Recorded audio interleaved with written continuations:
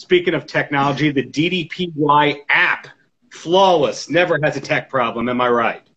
I wouldn't go never. never. never. And you've been doing a lot of live workouts as of late, besides the app, stuff over Instagram. Do you have any of those coming up? Um, no, I'm just going to start now just on the app. I wanted to go on to uh, Facebook for a while there and just to let people see what we've got going on. I'll probably do something in another couple weeks. It depends.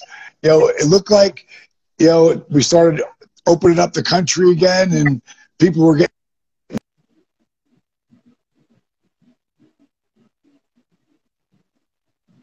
to work. A lot of people were. I know my guys are. We're not doing the workouts, but a lot of the guys are all back at work.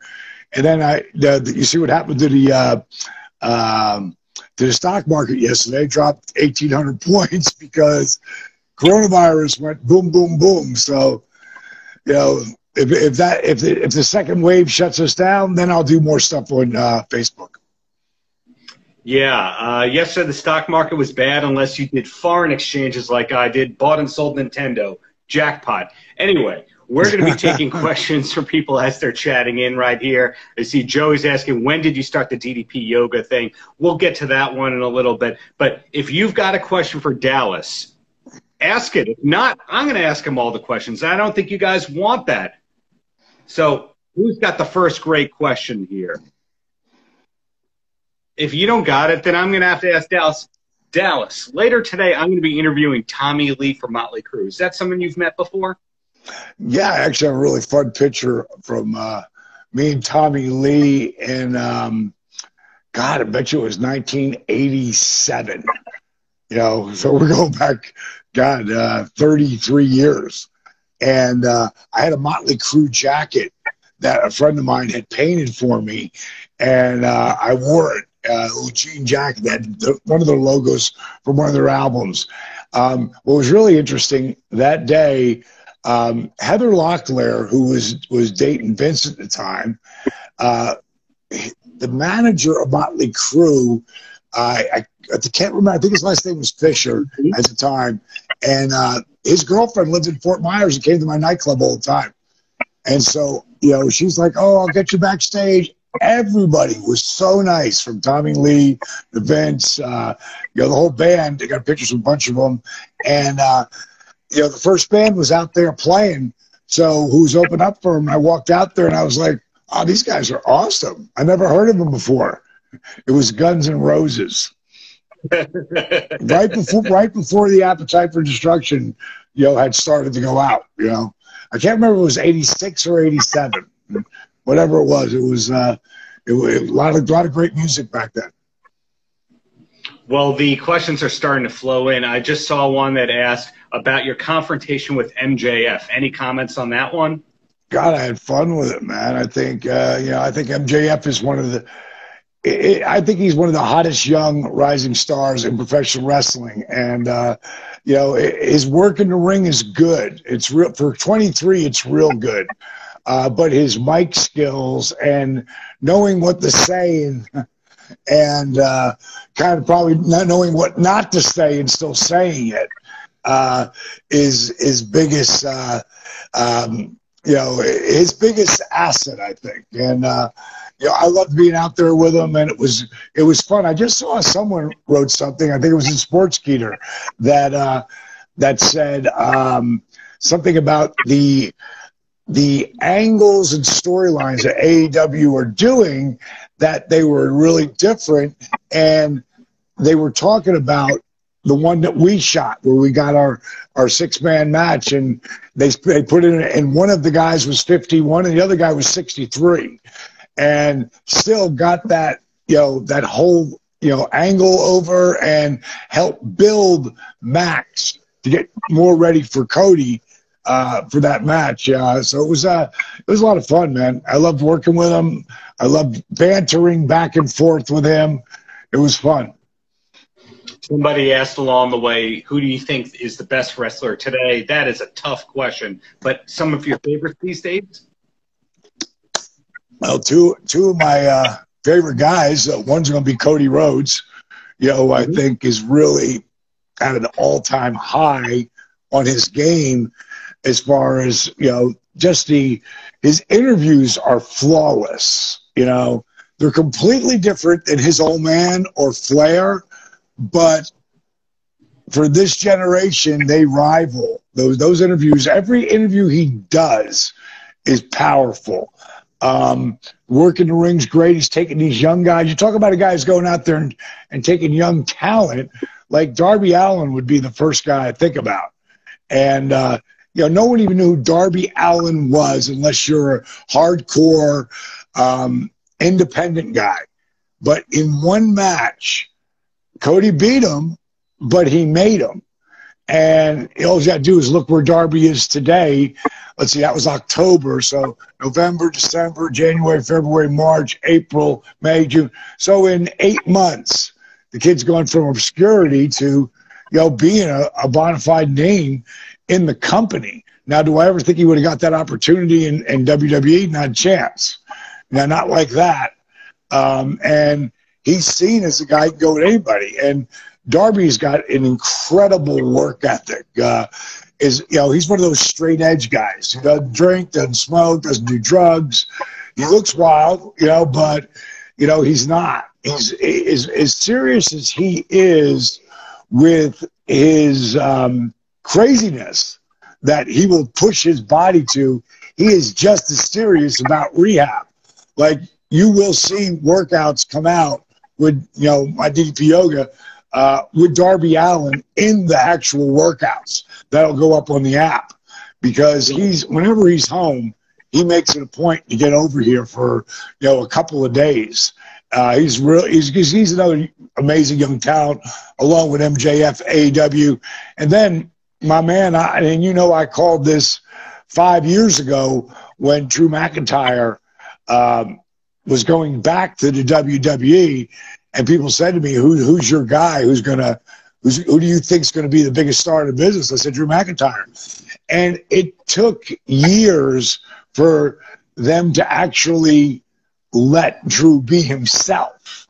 And as soon as they gave him just the slightest push and let him be himself, because Drew McIntyre is exactly what you see. And the guys who really get over in this business are guys who are exaggerated versions of themselves. And um, I'm so proud of that kid, man. You know, I'm, I'm super proud of him. I'm glad, you know, for his opportunity. We we we we talk all the time, and uh, right before Mania, you know, uh, you know, you knew that there wasn't going to be a crowd for WrestleMania and they're the biggest crowds ever. Um, you know, shot at the main event at WrestleMania is not going to be in front of any people. And he was a little bit, just a little bit down about it. And I was like, Drew, I said, tell me who won WrestleMania 33 or 27 or 15. Yeah. Can you tell me who won? No. But during a time, I always say there's better than and there's less than. If you're not the best, you are less than, unless you're different than. And Eric Bischoff taught me that. And I, have been living it my whole life, never really knowing I was doing that. And I said, Drew, you and your match with Brock will be remembered more than anything because of the COVID. So embrace that because you're doing something that no one's ever had to do before. And you're going to do it at a high level. And I know you are. So I want you to embrace that. And then a couple weeks it went by, and then we were talking, and Ben, he goes, you know, we were talking. He said, "Yeah, a lot of everybody keeps going to me, man. I can't believe you're not going to have any people at WrestleMania, you know, to cheer for you in this match." And you know, everybody's really down about it. Everybody but DDP. You know, like, because again, you, you got to always look at when you don't have any control over anything, you got to right. look at like what's happening and what can I control. And what I can control is to go out there and have the best match I can. I can control my attitude and you know my mindset, the story I tell myself. And Drew's, and I'm super proud of him. From every time he gets in front of a camera and he starts talking, he gets better and better and better. How's he going to be when he gets there and the people are back? Because they'll still be pushing him because there's no discerning factor that tells him he's not getting over. When he is finally in front of people and they were losing their shit back when he was right at the end, when he was getting that push, the people were with him. When he comes back, he, he's going to be insanely over insanely. And speaking of people who are a little more modest, I saw a question asked how Arthur Boorman is doing. And Arthur, for those who don't know, one of the first successes of DDPY yoga, if not the first viral video. So how's he doing? Uh, well, right now he's got to go through knee surgery because his, you know, got to remember Arthur couldn't walk without knee braces, back braces, and canes for 15 years, you know, and the knees were bad to begin with his whole his whole deal back in the day was to get his knees operated on, lose 50 pounds so he could get his knees operated on. He never had his knees operated on because of the program, eating correctly. He's gotten another 13 years, you know, out of that. And so uh, I'm pretty sure he's going to go in there for a total knee replacement soon. But he's still working out. He's still doing because it's always best when you're about to go in for surgery that you keep working out so you strengthen your body so you can go through the surgery. You know, out there's mm-hmm. listening, and uh, you know, and you end up where you have to get a surgery. You don't want to not do anything before it. You can, so the surgery is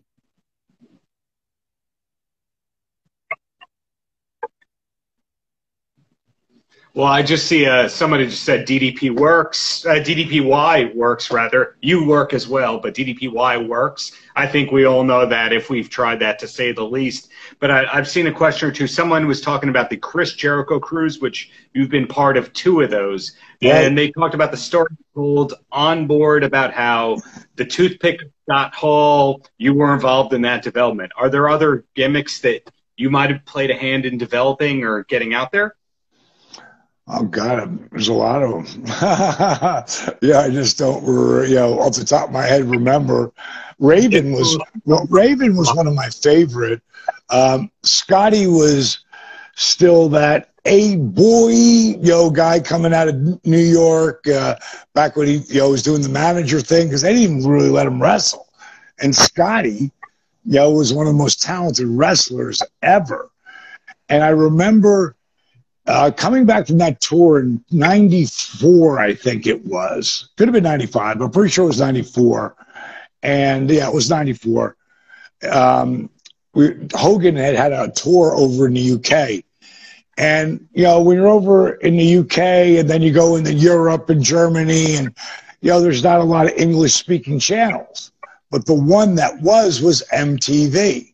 And I've been watching MTV since it started in 85 and I used a lot of great ideas off of MTV for my nightclub back in the day. And um, as I'm watching, because I hadn't really paid attention to MTV in a while, I realized, wow, the only bands I even know were Bruce Springsteen and Aerosmith that were up for awards. But the all the Green Day and Nirvana and all those bands, they were like the center of what was happening in the 90s. So I, after I came back, one of my best friends picked me up at the airport, and Kimberly and I were still together, you know, back then, and so we did a lot of traveling together. And when I came, when I when Tony picked me up, he's a very big guy in the music scene. Um, I was talking about how I can't, you know, I didn't realize that rock and roll is kind of being phased out for this whole new set of rock and roll, you know, alternative music. And uh, and Tony said to me, "Is there anybody in wrestling that represents that group of kids?" And I said, "You know, no, there's not." You know, and um, and I said, "God, I wonder who could do that." And Kimberly in the back goes, "Scotty could," and I go, "Levy?" I go, yeah, I'll bet you he could. So I called him up and I and I told him. I, I first I called Paul Heyman, who was running uh, ECW at the time, and I said, Paul, I've got this idea for Scotty Levy, and um, I, I, I want to try it out with you first. Like ECW was really new at the time. Remember, Raven's not right. there yet, and uh, I said, I want to try it out with you, but at some point I'm going to want him to come to WCW because I, me and Bischoff were so tight and I helped so many guys get jobs. I was helping with a lot of the booking and creating of talent um, coming up. Um, like the whole thing that uh, the um, the thing it was Bischoff's idea, but the whole Mortal Kombat idea you know, mm-hmm. Ray Lloyd, putting Ray in that spot. Ray was a black belt in karate, and he really, like, he wasn't faking katas. You know, he could do all that stuff. He could do all the stuff with the weapons. And I put Kanyon in that spot, Brian in another spot, and uh, Bischoff brought in uh, um, Ernest Miller. And that was one of my projects but so was Levy, so was Disco Inferno. So all these mid card guys, let's see what we can do with them, you know. Um, but Levy was the you know Scotty the Body was was my favorite because I'd known Scotty since I broke into the business as a manager, and I liked him, and I thought he was really smart, and he really understood the business on a different like a Jake Roberts storytelling level. And um, so I said, okay, Scotty, here's the idea. I give him the idea. I said, create a character around this personality. So he calls me up uh, about a week later. He said, okay, what do you think about Raven? I go, Raven? He goes, yeah, never more, bro. Never more. I go, cut me a promo. And he starts with this dark promo and then he goes, yeah, boy. And he flips into the other. I go, you're on a roll, but that sucked. Click. You know? and he would call me like probably every couple of days to give me another promo of the character. And it probably took him about two or three weeks. And then I was like, wow, dude, you got it. You got it. Let me call Paul. So I called Heyman up and, uh, and he, he went there and him and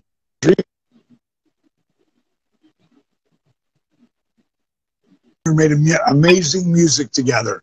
They would really create the brawling in the stands, you know? Right. Well, uh, I see a question pop up from a few people here. They've, they've asked if you've ever been to India before. Never been to India. Uh, one of my best friends is Adi Shankar, who uh, who's from India, and he is probably he might be one of the he's in within the top 10 really movers and shakers in hollywood. Uh, mm-hmm. i don't know if you ever saw that show castlevania. Uh, it's on netflix. Well he created that. He did he's done so many things. If you look him up on imdb you'll be blown away. But we did a show together uh, called it should be out this year. It's a netflix original. And mm-hmm. um, right now the working title is Gods and Secrets. as a very dark superhero, um, very dark superhero uh, um, series, and uh, I'm super excited about it because Adi is doing some you know miracles with what we did creating all of the the, the, the music that goes with it and the special effects uh, it's real it's like a it's like a graphic novel come to life that also plays into like when the fights start, it's like watching Street Fighter in um, you know back in the '80s because this whole set it's all set in 1987 in an alternate universe, and so the uh, the actual fight scenes are done like you're playing a video game with you know energy bars above them or different things like the, the live characters become video games. And uh, it's got a really powerful message. So uh, adi when i think about that, that's as close as i've been to india is working with the great adi shankar. Well hopefully you'll get there one day. Uh, that's one of your many credits. What was your first acting gig by the way? Because for a while you appeared in a lot of movies. Uh, I remember you had quite a role in the early 2000s when you were living in LA. Yeah, I did a bunch of stuff, uh, but I, I constantly, I realized I was never going to get that opportunity, you know, like the guys are getting today. The Rock has really broken ground on a different level. You know, all you got to do is look at Batista, Cena, um, Edge. I mean, so many guys have gotten opportunities because The Rock has redeformed, redefined what we can do. I mean, he's the biggest star in the world. So pretty sweet, man. Uh, uh, and happy to be a part of that whole scene. Um, but my first movie I ever did, I was filming. I was actually working with WCW, and you know we were TBS and TNT, and TBS had a uh, a movie called First Daughter where we kidnapped the president's daughter, and I, I flew to Sydney, Australia, and I uh, was one of the uh, entourage of bad guys um, along with Dominic Purcell, who was the second lead on that show Prison.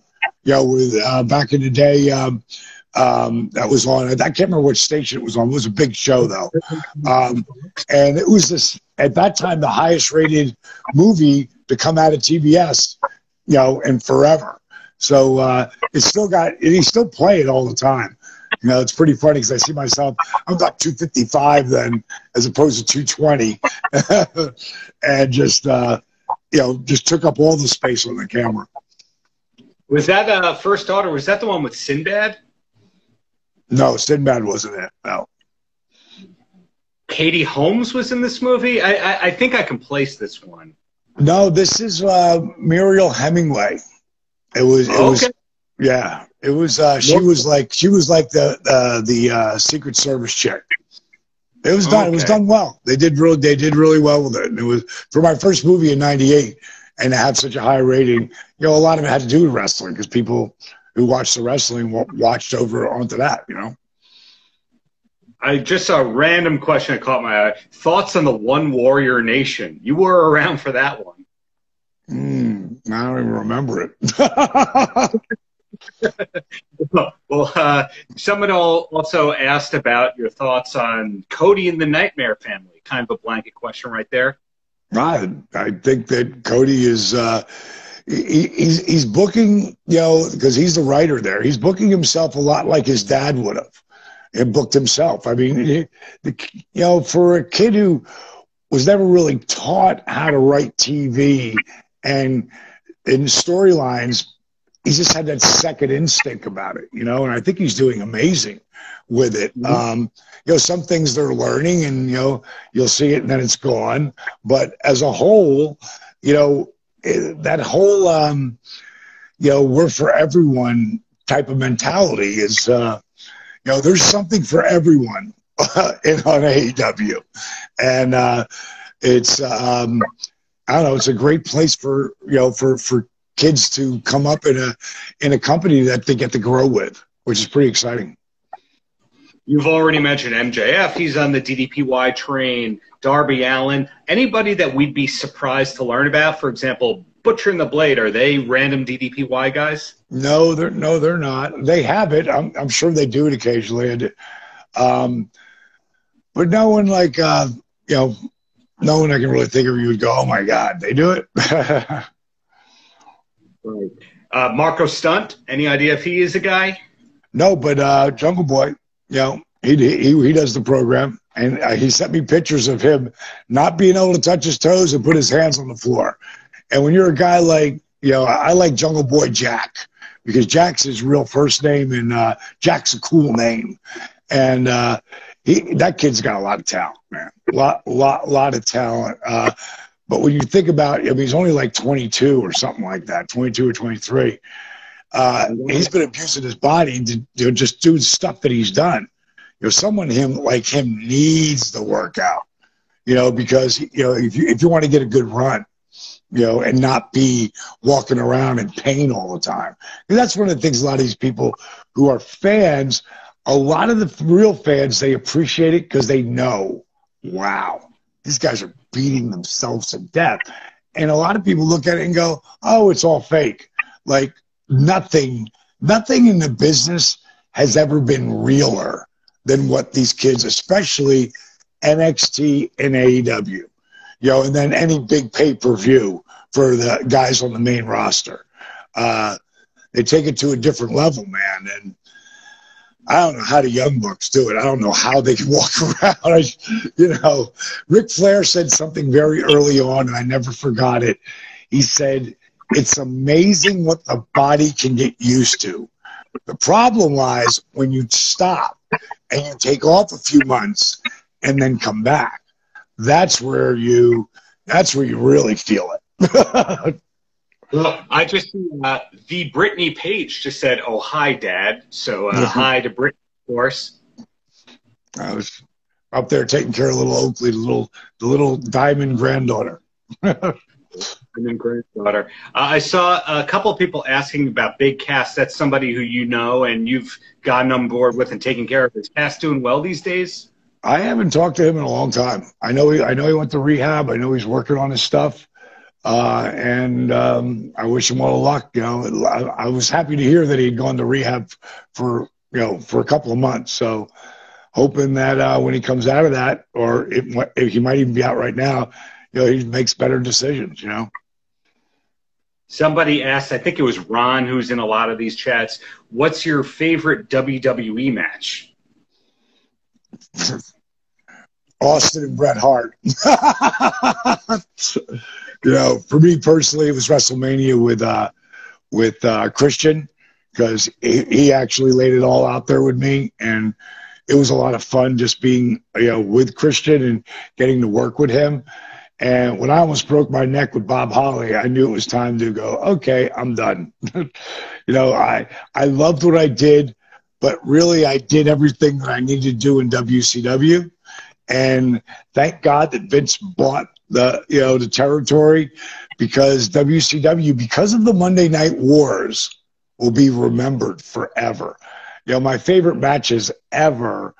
First one was Savage, really all of them, but the first one with Randy Savage, and what's really interesting, you know, like a lot of the guys back then would bust my chops because I'd lay the whole match out in my head for everyone out right. there, and I it really improved, you know, when you're constantly one of the reasons why Mick Foley can still do what he can do is because he's constantly doing you know his his routine on the road. Then he'll come off, then he'll go back on the road, so, which means he's exercising his brain.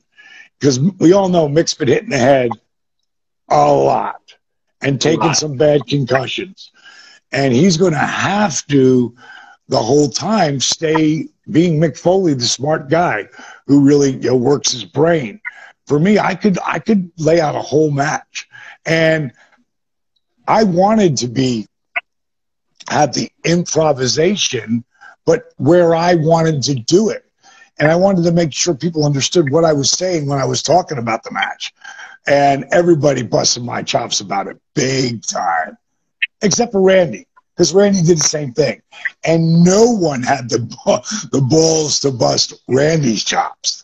You know, I just I was just watching something.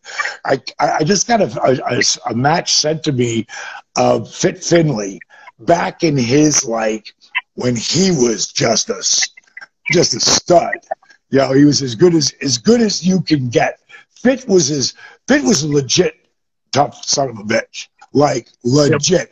Fight the drop of the hat. Didn't want to, but if the shit hit the fan, Fit's gonna knock your ass out and they sent me a video of him. I can't remember who he was wrestling, uh, but it was a great match, uh, and Fit looked amazing in it. And then it went right to people talking about the Warrior, and um, you know all different opinions about. It started with Jake, Jake and the Warrior had a lot of heat back during the day, and I knew Jake wasn't going to talk to him just going to keep to himself at the Hall of Fame. And it bummed him out that they were both calling on the same Hall of Fame.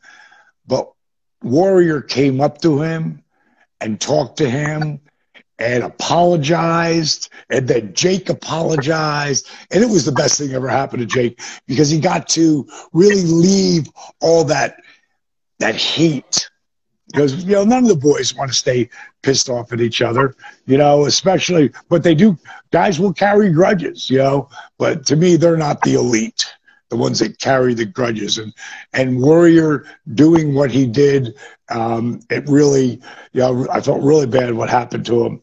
You know, you know, right after that when he passed the way he did.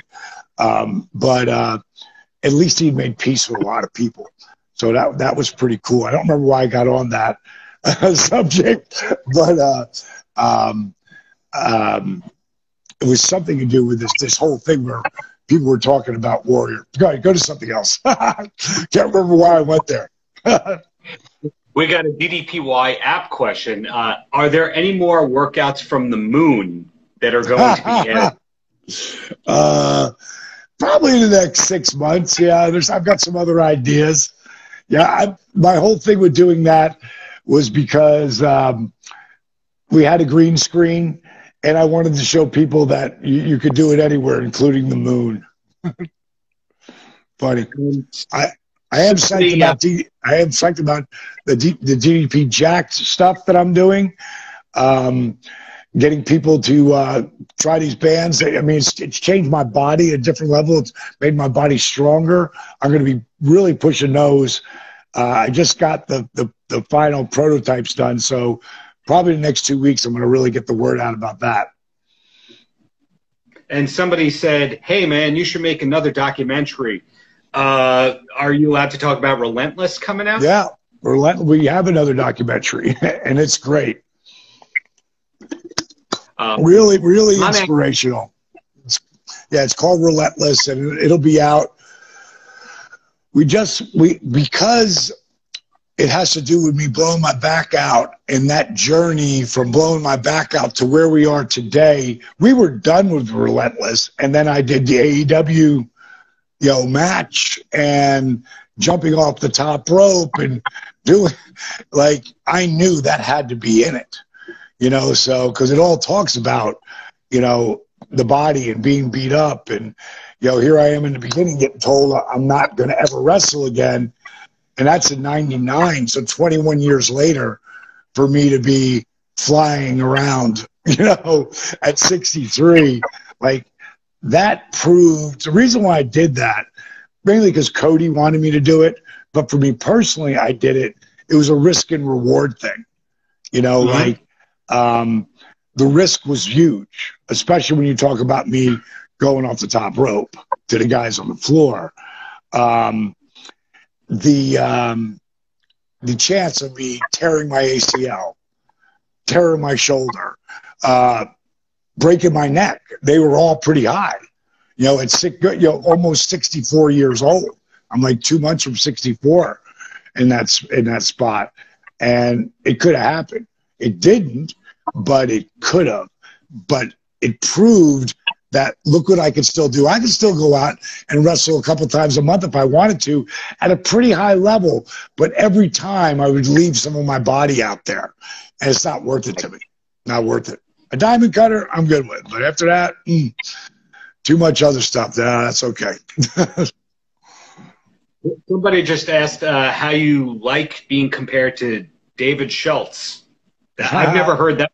I guess I can see it. Back when I had the hair and everything, uh, yeah. David Schultz would have been like, because that's right when WWF was starting to come up, in you know, right at the end of '70s and early '80s, and when he slapped Stossel, I mean, he slapped the taste right out of his mouth, and he knew that was going to happen. It wasn't like it wasn't planned. He knew but he could always go to the court, which is what he did because he's too because he didn't think it was going to come like that.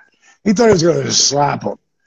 He slapped the taste out of his mouth, and that changed his life forever. You know, and uh, it's it's a shame because he would have been an amazing, believable heel, like amazing. He already was, but it, it's gone on any level. You could take David Schultz at any time in wrestling and pop them in, whether it's the 70s, the 80s, the 90s, 2000, today. He just beat the piss out of people, you know, because he, he, he talked, you listen, you know, because you believe, like, ooh, he's a bad son of a bitch.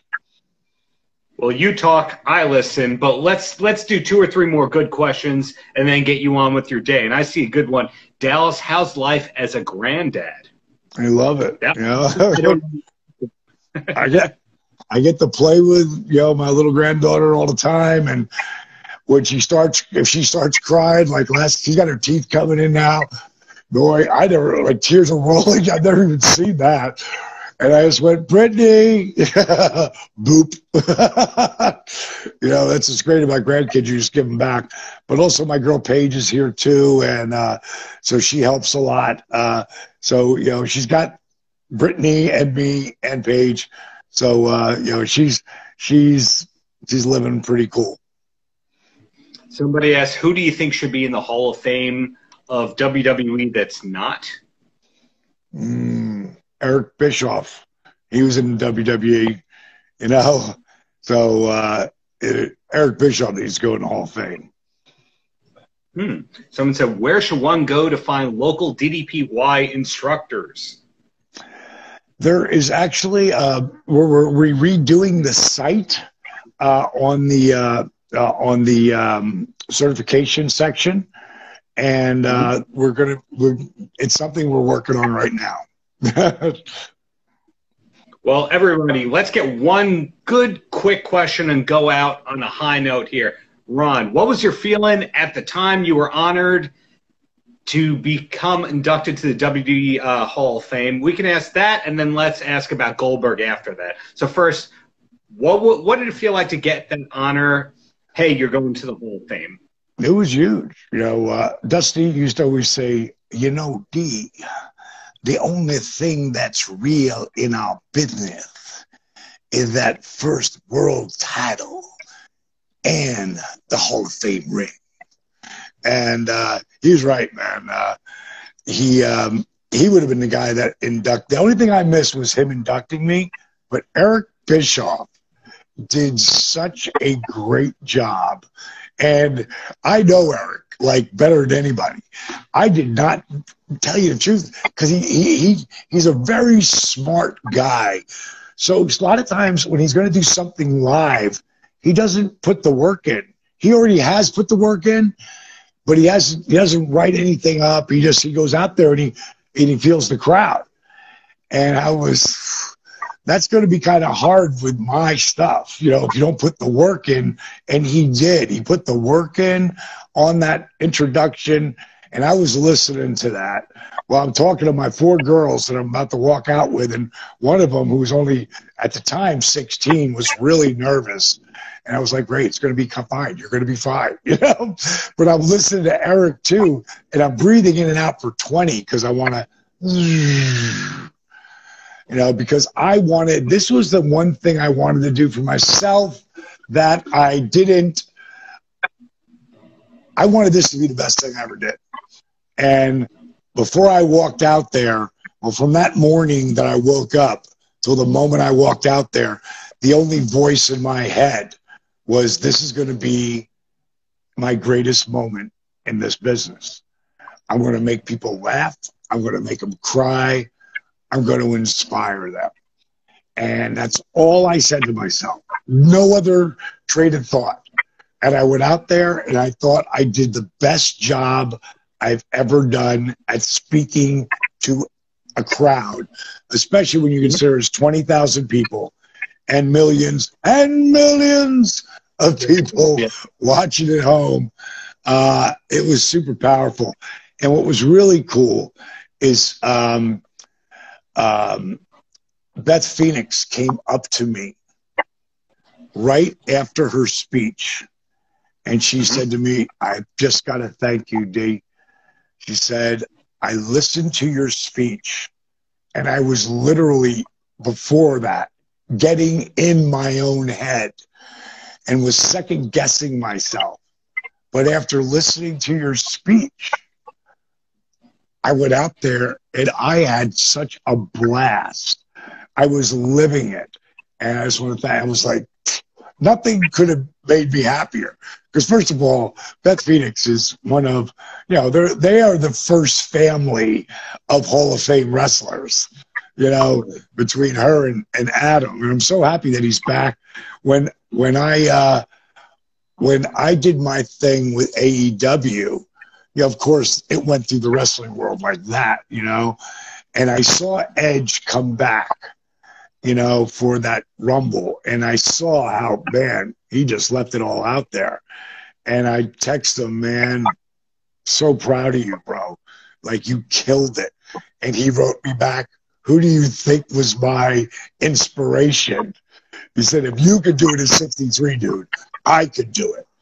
And uh, my body feels great. And he's someone I begged. I begged Edge to do DDPY when we were wrestling together. And he just didn't think he needed it. After he broke his neck, he started. And he wrote me one of the, the greatest testimonies, you know. And I said to him, uh, you know, that was friggin' 10 years ago or whatever it was. And I said, make sure you keep doing your DDPY, bro. He goes, wouldn't leave home without it. You know, because guys like that who are that are older and they've already had the results, they know, they get it. You know, what do I care if you do my stuff or not? I care because it's going to help you and it's going to make you like be able to perform at a different level. Um, which leads us to Goldberg, another one of my favorite matches. You know, and that that Goldie could have, you know, had the incredible run that he has had, incredible run, and that if you look back, he hadn't even wrestled in a year and a half when we faced off in at the MGM Grand and, and at Halloween Havoc, and green is grass, and that that would be his best match ever out of all of them I mean, you can't say anything about my work except for it's really fucking good.